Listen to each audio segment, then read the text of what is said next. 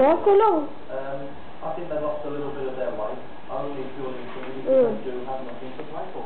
After Arsene Wenger's trying to make the right noises to his players, trying to cheer them up. But you imagine all the other big